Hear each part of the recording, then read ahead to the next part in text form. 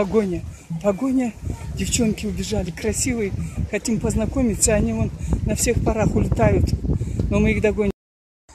Сегодня время провела я на Зеленом острове. Забил заряд я в пушку туго.